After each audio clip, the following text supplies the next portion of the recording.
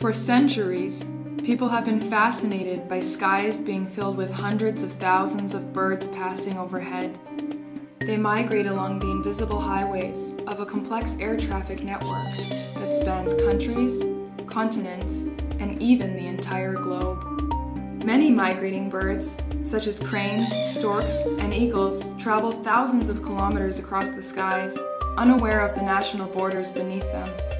To complete their seasonal journeys, migratory birds rely on important sites that link the various stages of their migration.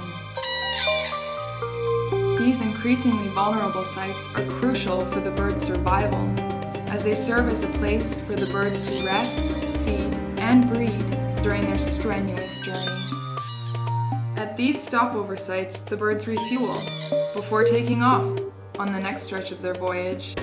Each year, on a second weekend in May, the world celebrates these amazing journeys on World Migratory Bird Day.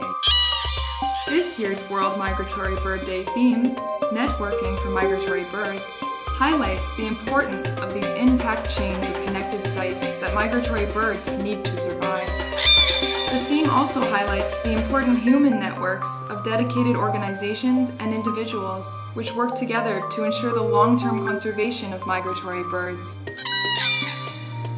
You can become part of this global celebration by organizing birdwatching expeditions, educational programs, lectures, art exhibitions, or other public events.